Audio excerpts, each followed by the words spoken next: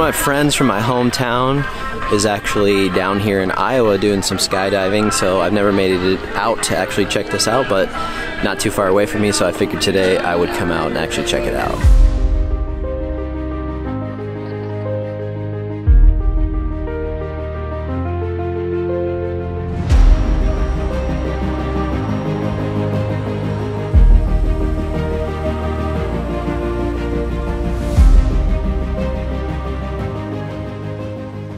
Really beautiful day for this. So pretty cool to be out here actually, see what's going on. So this is my friend Seth, and that's why I'm here today to come check out this skydiving thing. So how did you kind of get into this whole thing? And I know you've been into action sports and all that stuff for a long time, but this is uh, kind of maybe unique. Bull riding, a little bit of dirt biking, and all this. So anything specific that made you want to get into this? Or? Uh, well, I don't know. I just started jumping back in 2007. I did my first ever tandem, and then I went a few years without jumping. I tried taking a static line course, tried getting into it. Just, it's one of them sports where once you start, you have to keep going. You can't just, mm-hmm. you can't stop or anything like that. so I went in a static line course once, didn't quite work out. Then waited a couple of years and then I did another tandem. I was like, you know, this is something I really want to do. Mm-hmm. And then uh, I ended up uh, breaking up with a girlfriend. I had a bunch of free time on my hands, so I was like, you know what, I'm gonna do this. So I did the first static line course that I could do in La Vergne, Minnesota mm-hmm. at Skydive Adventures. Uh, got in there right away in April, beginning of April. Did their first jump course, did a couple jumps, just totally buzzed right through it. I ended up having my license by like July, and then mm-hmm. I just kind of kept going with it from there. And now here I am at Boogie's doing big way stuff, yep. having a good time. And you're how many jumps in are you now? Uh, 166. So okay. That's pretty small compared to a lot of the people that are walking mm-hmm. around yep. here. Well, I'm looking forward to seeing you here in just a little bit. So should be yeah, fun. we'll be suiting up and getting out of play. There you go.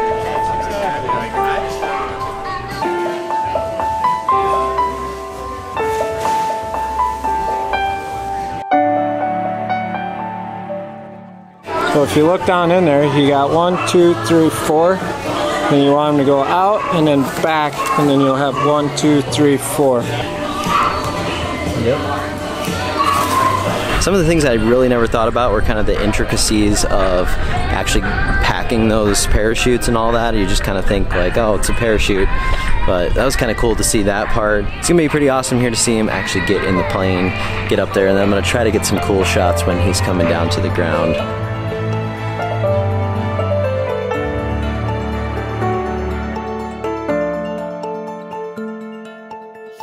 I was actually really, really hoping that you were going to bring your camera. I was like, this would be so sweet if Ryan could bring his camera and kind of make like a day at the drop zone kind of video. Yeah, well, it's like, I've only lived like 10 minutes from here, so I just haven't been able to make it out before, but. Like normally all they fly is that. Okay. They just fly the Cessna, but every like, every other weekend, they either get an otter in or a caravan a caravan's a single prop on the front. It's a little bit smaller, only holds 16, maybe 18, but uh, much faster. Huge prop on the front. Mm -hmm. This thing climbs so fast. And then this is an otter, and this holds 23 people, and it's still a turbine, so it still yep. climbs pretty fast. All right, so as everybody comes in, start in the back, sit down, get your rig on, take uh, this little end here, you go through your leg strap, buckle it up, good. Make sure the guy in front of you is good, split your legs.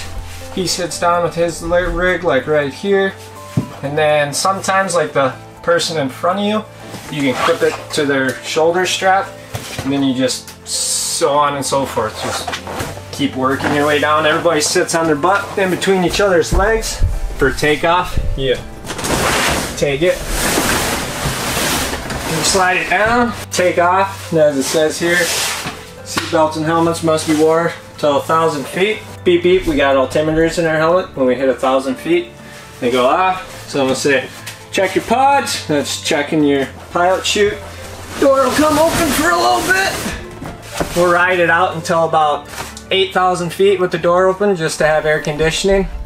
And then uh, at that point, like tandem instructors and stuff, they like to start getting ready in the back of the plane. So door comes back shut and then they start doing their business. We kind of do our last minute check, jump run when you get on that, which is pretty much north today because there's no wind.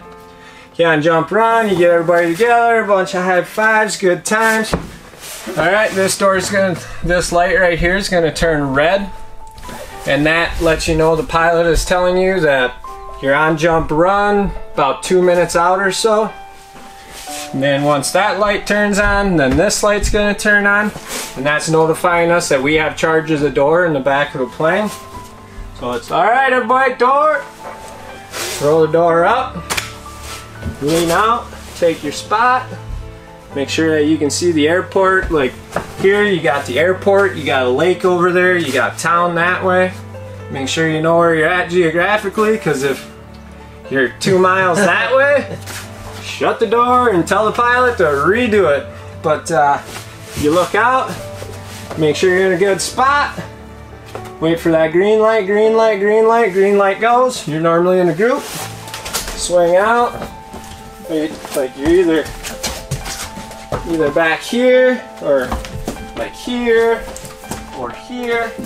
Otherwise, if you're real badass, there's a camera step clear out here that you can stand on. And then there's also another gripper up here on top of the plane that you can hold on to. So like, and then like plane, plane's heading that way. Into the wind. Otherwise, like what I'm doing today, I'm free flying. So it's basically like everybody takes a grip.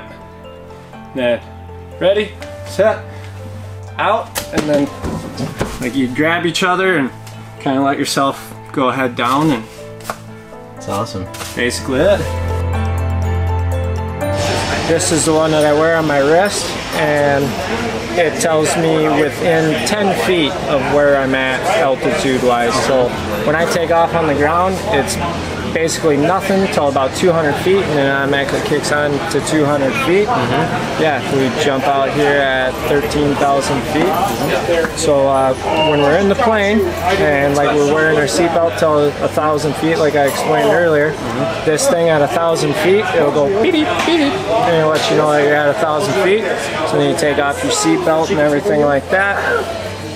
And then uh, get up to altitude, you do your jump. When you hit 5,000 feet is what I have my uh, first alarm set at. 5,000 feet, I'm gonna have one siren that goes off, and that's all right. Time to get away from everybody. So, like when you're free flying and stuff, you check out to your back, clear your airspace, make every, sure nobody's above you for one, and then you flip back over to your belly, and then you track away. There's somebody below you that you're like tracking in their same mm-hmm. line. Stop tracking and turn a little bit, and track in the opposite direction. Got it. So tracking 3,500 feet, you hit 3,500 feet, lets another siren go off in my helmet, and then that tells me I got a pull. My hard deck is 2,000 feet. If I have any malfunctions or anything like that, I have another siren that goes off, and it really like pew, pew, mm-hmm. Lets you know Yeah. you got to do something. So Yeah. if I have any malfunctions above me or anything like that, 2,000 feet, chop it, see you later, do what you got to do, uh, emergency procedure wise, and then Cool. take it from there.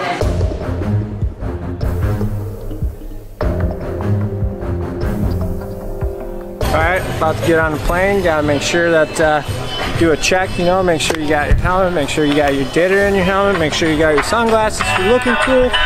Make sure your harness is all good. Everything's good. Make sure you got your altimeter on your wrist and go for it.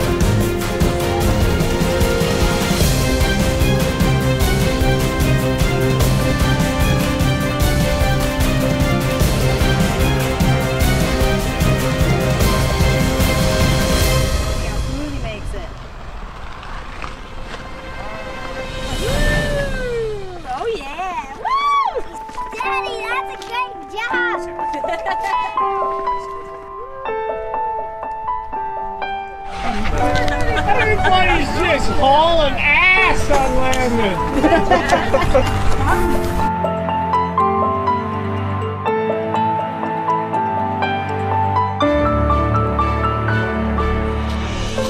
How was it?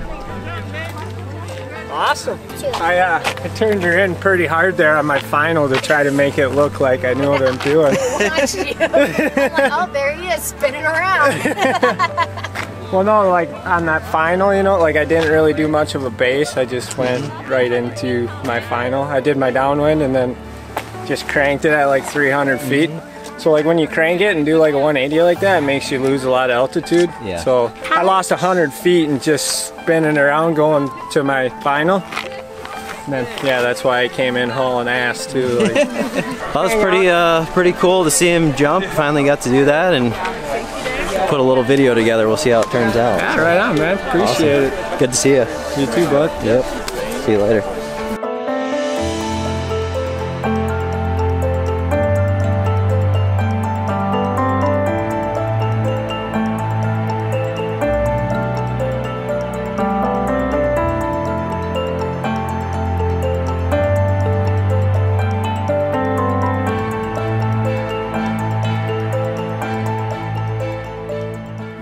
Really cool experience to kind of learn about that, see that. There's a lot more people doing it than I kind of imagined that there would be. Check out the good old Iowa view from this airport here.